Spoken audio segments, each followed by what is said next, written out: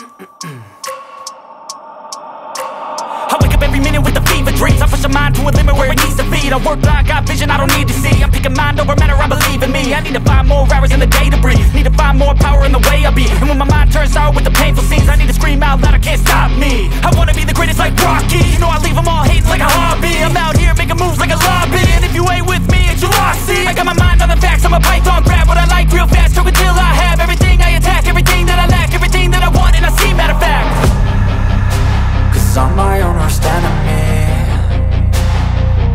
if I let it be. I can control anything if I can just think carefully. I control my destiny.